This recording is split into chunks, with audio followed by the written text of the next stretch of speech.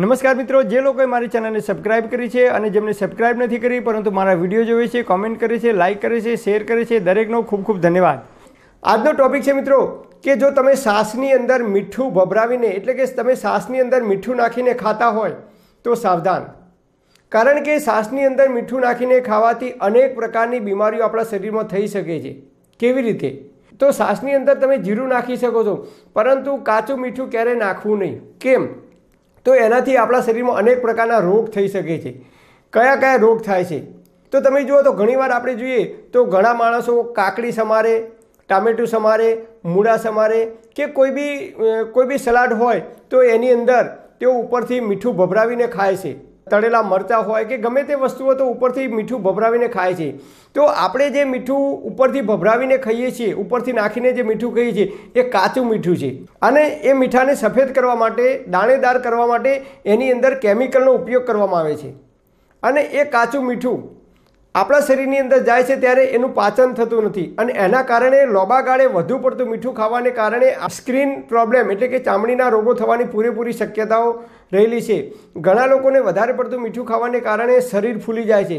ઘણીવાર આપણે જોઈએ તો ઘણા લોકો કહે છે કે ભાઈ હું તો ત્રણ રોટલી જ ખાઉં છું, ચાર જ રોટલી ખાઉં છું, મારો ખોરાક થોડોક જ છે, છતાં એમનું શરીર ફૂલી જાય છે. ઘણા લોકોને વધારે પડતું મીઠું ખાવાને કારણે થાઇરોઇડની પ્રોબ્લેમ થવાની પૂરેપૂરી શક્યતાઓ રહેલી છે. અને હા, વધારે પડતું કાચું મીઠું ખાવાને કારણે શરીરમાં કોડ નીકળવાની પૂરેપૂરી શક્યતાઓ છે લોબા ગાળે. જે લોકોને કોડ નીકળ્યા હોય શરીરમાં, એ લોકો અનેક પ્રકારની દવાઓ કરાવે છે, છતાં કોડ મળતા નથી. એનું એક જ કારણ છે કે કોડ નીકળ્યા હોય શરીરમાં, તો એની કોઈ જ દવા નથી.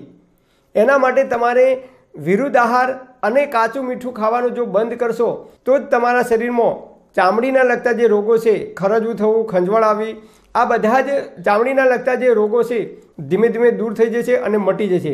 હા, તમારે શ્વાસની અંદર કે સલાડની અંદર મીઠું નાખ્યા વગર તમને ના ભાવતું હોય, તો એના માટે એક ઉપાય છે. તમારે એક વાટકીની અંદર થોડુંક મીઠું લેવાનું અને પછી બે ચમચી જેટલું પાણી નાખવાનું અને પછી એને ગેસ ઉપર ગરમ કરવાનું. પછી એ મીઠું ચડી જાય, એટલે કે ગરમ થઈ જાય, પછી એ મીઠાને તમે શ્વાસની અંદર કે કાકડી કે સલાડની અંદર નાખી અને તમે ઉપયોગ કરી શકો છો. પરંતુ કાચું મીઠું સીધે સીધું જો તમે ઉપરથી ભભરાવીને ખાશો, તો લોબા ગાળે વધુ પડતું મીઠું કાચું ખાવાને કારણે આપણા શરીરમાં ચામડીને લગતા રોગો થવાની પૂરેપૂરી શક્યતાઓ રહેલી છે. એટલે મહેરબાની કરીને મારી આ વિડીયોના માધ્યમથી આપ સર્વેને નમ્ર વિનંતી છે, બે હાથ જોડીને પ્રાર્થના છે કે જો તમે આ રીતે વધારે પડતું મીઠું ઉપરથી ભભરાવીને ખાતા હોય તો ઓછું કરી દેજો અથવા બંધ કરી દેજો, કારણ કે એનાથી લોબા ગાળે આપણને નુકસાન થવાની પૂરેપૂરી શક્યતાઓ રહેલી છે. પરમપિતા પરમાત્મા આપ સર્વેને નિરોગી અને તંદુરસ્ત રાખે એવી હૃદયપૂર્વક મારી પ્રાર્થના. Thanks for watching my video thank you